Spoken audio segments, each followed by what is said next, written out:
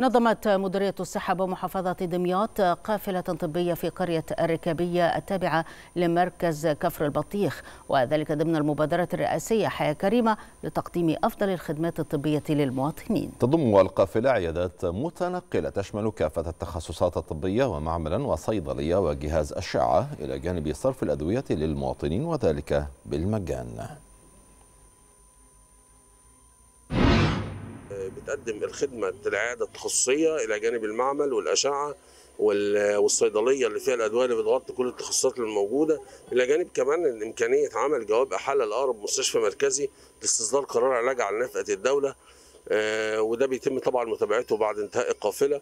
كمان عندنا الجزء الوقائي متمثل في في الندوات التثقيفية اللي بتتعمل على مدار اليومين. بنوصل للمواطن كل ما هو جديد فيما يخص صحته وصحة أولاده.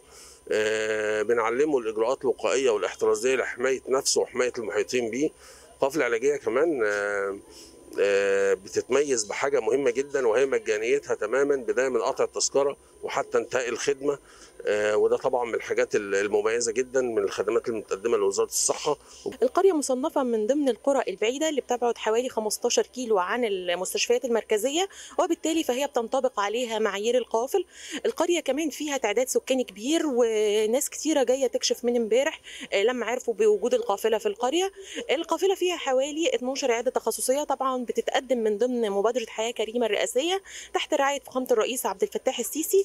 القافلة كمان فيها صيدلية صيدليه متكاملة تم إمدادها بكل الأدوية اللي بتغطي التخصصات الطبية الموجودة في القافلة. إحنا بنبدأ الشغل من 9 الصبح ل 3 العصر. بنبدأ بالعيادات. بيتم تحويل من العيادات الموجودة زي البطنة والنساء والأطفال والعظام. التحاليل الموجودة عندنا تقريبا 40 نوع من أنواع التحاليل المتوفرة.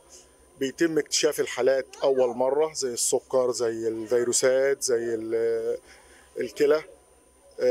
كل التحاليل بتتسحب في خلال نص ساعة بالظبط بيكون النتيجة راجعة للطبيب المعالج.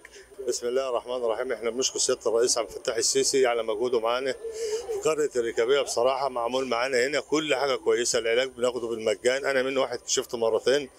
وجبت علاج وادوني علاج بتاع الفيروس وخدت العلاج بتاع اللي أنا محتاجته كله. وبصراحة رعاية هنا ومقابلة من الدكاترة اللي قابلونا هنا في, مدينة الركابية قسما بالله ما حاجة يعني ما توصفش ولا كنا نتوقف في حياتنا إن إحنا نوصل للدرجة دي.